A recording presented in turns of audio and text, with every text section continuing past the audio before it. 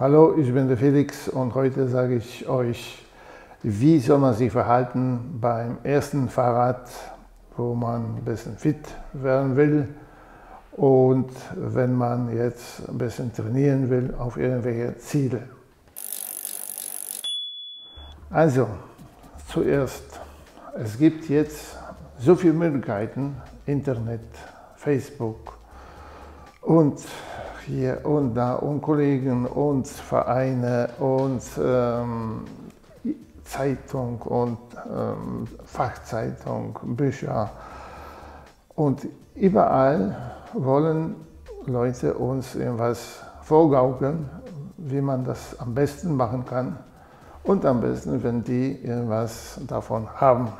Am besten lernt man auch aus eigenem Fehler. Zum Beispiel, mein erstes Rennen habe ich in Jeans gefahren. Wenn man das schnell machen will, beim Rennen auf dem Fahrrad raufspringen und weiterfahren, am Anfang geht das noch. Aber wenn das jetzt nicht unbedingt äh, Rennrad ist, nur Mountainbike, wo man ab und zu am Berg absteigen muss und wieder rauf, dann hat man Probleme ohne Ende.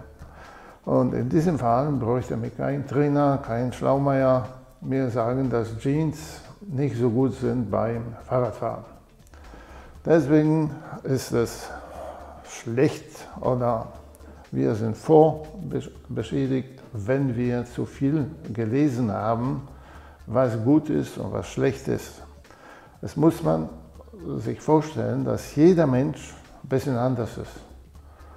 Sogar beim Trinken, beim Essen, der eine will ein rotes Wein trinken, der andere weißes Wein, der andere kein Wein, nur Bier und, und, und. Es gibt verschiedene Geschmäcker und das Gleiche ist, wenn es geht um Fitness. Unser Körper ist individuell. Es kann man nicht Trainingplan erstellen für alle. Außerdem alle starten von anderem Niveau.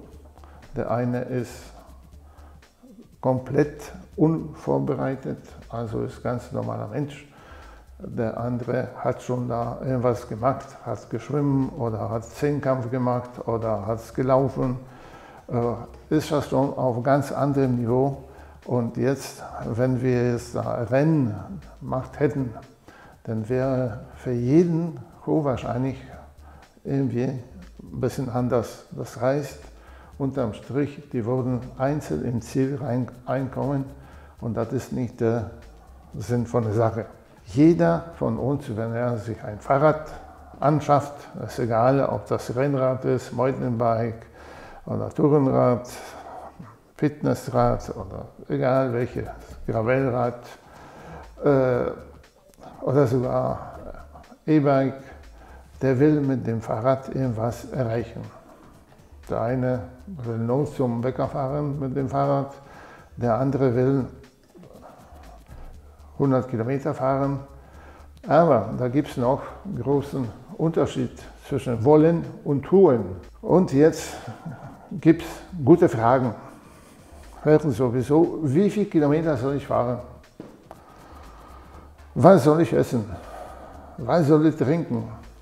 Wie soll ich mich anziehen? Und da gibt es wieder so viele Fragen und wie viel, so viel wie die Fragen sind, gibt es viel mehr Antworten. Warum? Es gibt Leute, die fahren ganzen, ganzes Jahr im Sommer und im Winter ohne Handschuhe. Die haben solche Körpertemperatur, dass die keine Handschuhe benötigen. Ist natürlich falsch, aber es gibt solche Leute. Es gibt Leute, die wollen Rennrad fahren, aber haben auch keine Erlebnisse in diesem Bereich. Und deswegen soll man jetzt fahren, so dass man Spaß hat. Was heißt Spaß? Beim Training sollte man sich frei unterhalten können.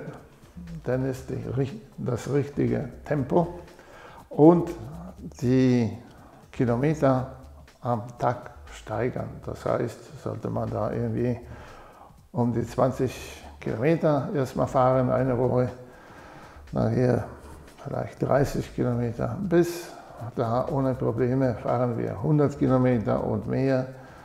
Äh, aber das muss nicht so sein, dass man heimkommt und hat man für einen Monat genug, ist man satt für einen Monat. Das hat keinen Sinn. Sinn hat das, wenn man regelmäßig trainiert. Was heißt regelmäßig? Am Anfang regelmäßig wäre zwei, dreimal in der Woche. Wenn man da schon ein bisschen vorgeschritten ist, dann sollte man, muss man mindestens viermal in der Woche trainieren. Und das muss Abwechslungsmanöver sein. Das heißt, ich muss nicht jeden Tag die gleiche Strecke da quälen und quälen und sich da äh, schändern, ist hauptsächlich schlecht. Wir müssen ganz locker fahren und mit der Zeit sind wir in der Lage, ohne Probleme locker 30 zu fahren. 30 Kilometer pro Stunde Geschwindigkeit. Das ist schon eine äh, gute Sache. Wenn wir die 30 Kilometer Schnitt auf 40, 50 Kilometer erreichen, dann dürfen wir schon ein bisschen stolz auf sich selber sein. Andere Sache ist, wieder ohne Schweiß passiert überhaupt nichts. Also müssen wir auch ein bisschen Zeug reinlegen. Die Fragen, die kommen, warum Puste ist so wie ein Lok, Dampflok. Na, du bist noch nicht vorbereitet, der andere ist schon viel weiter, hat viel mehr Kilometer in Beinen regelmäßig gefahren und der muss nicht pusten. Du musst das erst am eigenen Leib erleben und du musst das selber wissen. Das Gleiche ist, wie ernähre ich mich am Training? Am besten gar nicht am Anfang. Nachher kann man irgendwas mitnehmen, was leicht ist. Es gibt jede Menge äh, Batons, es gibt Getränke, jede Menge und das muss man ausprobieren. Und das muss, muss man und sollte man am Training machen, nicht am, beim Rennen. Wenn man beim Rennen das experimentiert, das kann gut schief gehen und hat man Rennen verloren, ist man dann frustriert. Und wenn das beim Training passiert, ist man auch frustriert, aber weiß man schon, dass man diese Sachen zum Rennen nicht mitnimmt. Die beste Methode und der beste Training ist, wenn man alles selber ausprobiert, was für mich gut und was für mich schlecht ist. Die nächste Sache ist, dass man am besten in eine Gruppe fährt, Training. Das heißt, es ist egal, ob das Mountainbike ist oder das Rennrad ist oder Tourenrad. Da kann man sich was an, abschauen, anschauen. Da sind die Kollegen, die äh, ein bisschen besser vielleicht sind, die helfen auch, wenn man da Probleme hat, technische Probleme beim Platten oder sowas, beim Stürzen und sowas. Das ist immer besser, wenn man da mindestens drei, vier Leute äh, zusammen sind und dann kann man sich gegenseitig helfen. Das Gleiche betrifft, wenn man auf der Straße äh, fährt, hat man auch ab und zu Probleme mit Autos, sprich Unfall. Denn ist in der Regel, wenn man alleine ist, dann ist man sofort schuldig. Sogar wenn die Polizei kommt, dann ist auch angebracht, wenn man da äh, mehr Leute unterwegs sind, dann ist schon die Sache ganz, ganz anders von vornherein. Und am Ende wollte ich sagen, was so Anfänger, wie soll er sich verhalten mit Anziehen. Also, so wie gesagt, am Anfang, wenn man da noch finanziell nicht so gut ist und sogar wenn man gut ist, dann weiß man überhaupt nicht, was ich brauche. Zuerst sollte man tatsächlich da vielleicht in äh, Jeans, wenn man keine äh, Trainingshose, Trainingsanzug hat, äh, und mit sowas fahren. Und dann merkt man sofort, irgendwas klappt da nicht. Und dann weiß man schon in etwa, was ich bräuchte. Nachher geht es um Schuhe. Das ist ganz andere Technik, wenn man mit Turnschuhe fährt und ganz andere Technik, wenn man mit Klickpedalen fährt und Rennradschuhe oder Mountainbike-Schuhe. Das ist ganz anderes Gefühl, ganz anderes Fahren. Äh, muss man nicht unbedingt dann gleich sagen, dass es besser ist mit solchen Schuhen, aber es ist tatsächlich nachher hinein, wenn man da mit Turnschuhen fährt, hat man Probleme äh, und fühlt man sich schlecht auf dem Fahrrad.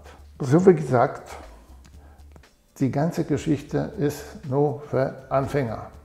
Und deswegen die beste Methode nochmal ist die Methode, wo man das ausprobiert. Wenn man da ein paar Mal was falsch macht, dann braucht kein Trainer, der das sagen, dass es falsch ist. Ein Beispiel habe ich noch beim Rennen, bei Kriterien, wo man in der Stadt fährt. Äh, ringsherum gibt es die Zebrastreifen und da sollte man beim Regen auf die Zebrastreifen nicht rauffahren, die sind sehr glatt und rutschig. Und da kann man den jungen Leuten da erzählen, dass das so ist. Und trotzdem fahren die immer auf die Zebrastreifen und provozieren selber Stürze. Aber wenn jemand da zwei, dreimal die Klamotten aufreißt, ich will jetzt nicht sagen, dann hinter aufreißt, dann brauche ich ihm überhaupt nicht sagen, der weiß von alleine und erzählt dem anderen auch, dass es so und nicht anders ist. Und in diesem Sinne, diese Methode mit Ausprobieren, eigene Fehler anerkennen, ist die beste Methode. Und dann kann man erstmal fragen, wie kann man die Fehler oder die Unangenehmlichkeiten bewältigen. Dann kann man den Trainer fragen oder die Kollegen, die ein bisschen mehr schon Erfahrung haben. Das war's für heute und weitere Videos gibt es hier. Abonnieren hier. Das war's für heute und